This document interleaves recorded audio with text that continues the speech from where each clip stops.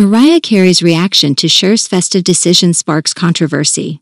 A recent decision by music legend Cher has stirred up quite a commotion, especially drawing the ire of fellow superstar Mariah Carey.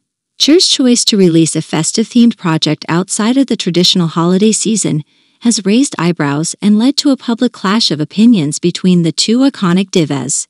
Cher, known for her boundary-pushing career and distinctive voice, announced her upcoming holiday album, Cher's Christmas Surprise, which is set to drop in the middle of summer.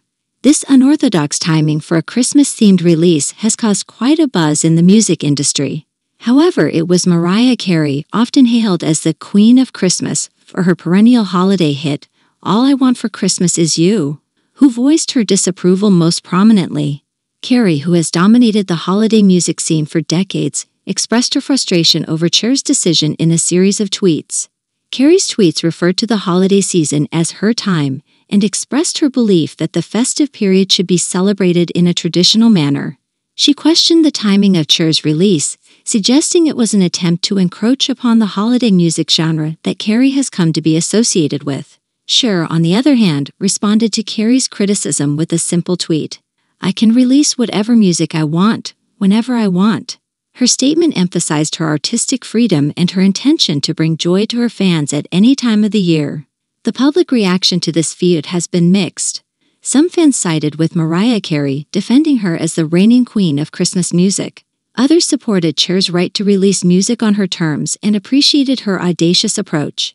Critics of Carey's response labeled it as pathetic and accused her of trying to monopolize the holiday music market.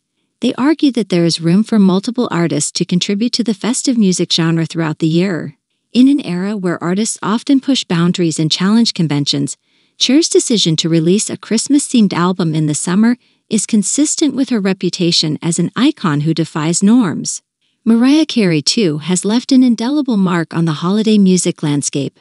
As the controversy continues to unfold, it raises questions about the intersection of artistic freedom and industry traditions. Ultimately, both Cher and Mariah Carey have made significant contributions to the world of music, and their passionate fan bases will eagerly await their respective releases, whether it's in the midst of summer or during the holiday season.